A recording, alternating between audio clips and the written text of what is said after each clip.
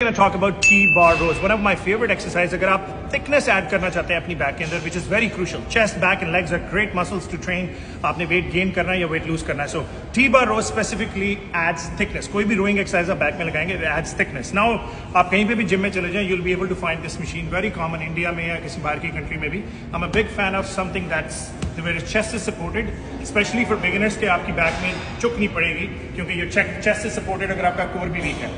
Now comes to depending on your height and आपके हाथ कितने खोलते हैं so you can go close which is still wide grip अगर if you're a short person mid grip and a wider grip so Chota Shakil is here back with us in the business so Chota Shakil Saab is gonna go somewhere outside he's about 5'8 5'9 in just in case अगर लड़कियों को कोई Canada आना है उनको मुंडे की जरूरत है we got a Munda right here too आजू बाजू now the key is a lot of the times I've noticed people they would just do this this is very wrong because it's not taking you anywhere now the key is to involve your back muscles. This way yes you're involving the back muscles